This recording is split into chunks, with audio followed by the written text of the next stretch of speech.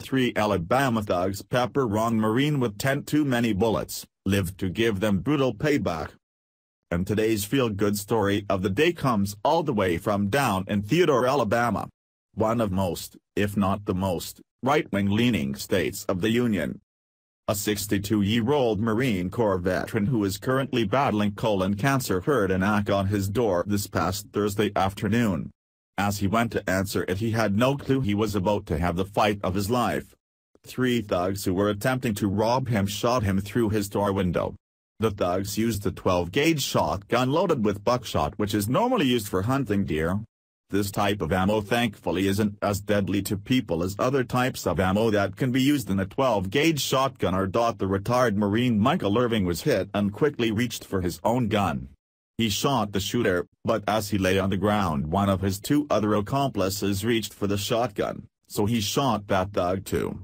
The second thug he had just shot begged Irvin not to shoot him again, so he replied to him to drop the gun. The punk didn't so Irvin shot him again. After shooting both he looked over and saw a third punk trying to shoot him with a handgun that had fortunately jammed, so he shot her too. Now that's what I call a fun afternoon don't you think? Fox 10 reports. I didn't want to have to kill him, veteran talks about shooting suspected burglars. A Marine Corps veteran is telling Fox 10 News how he got out of a violent burglary alive. It's a follow-up to a story we brought you as breaking news Thursday night, when a homeowner shot three suspected burglars in Theodore after they shot him first. The homeowner is 62-year-old Michael Irving. Fox 10 News reporter Devin Kofaro sat down with him once he got home from the hospital Friday afternoon. I didn't even know them, said Irving. Why me? Why shoot me?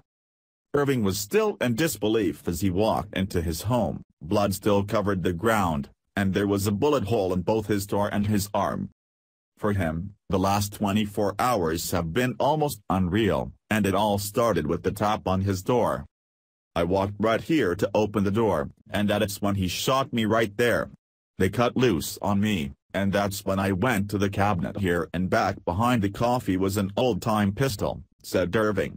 I opened the door and smoked him. Mobile County Sheriff's deputies say on the other side of that door armed with a shotgun and a handgun were Chastity Jalabhan, Casey Reagan, and Joseph Hathcock. Investigators say it was an attempted robbery, and clearly they chose the wrong house. Irving managed to shoot and injure all three of them. I tried not to shoot any of them in the chest. I didn't want to have to kill them. Two of the suspects fled and left one woman behind, but they didn't make it very far. They eventually had to stop at a Dollar General two miles away and wait for help. All three suspects were first taken to the hospital for their injuries and then arrested. As for Irving, he's being hailed as a local hero for defending himself. He was outnumbered, outgunned, and has been battling colon cancer for the past two years. He says you never mess with the former Marine. I learned that in the Marine Corps dash react and do before you get scared, said Irving. He was robbed a few weeks ago, targeted for his cancer medication.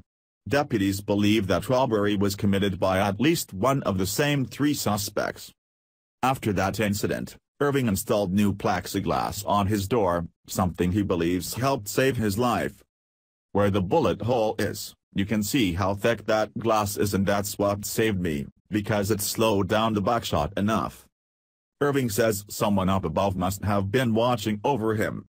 If I hadn't have moved just a little bit, it would have hit me in the chest and sternum and caught me in the heart, in the heart.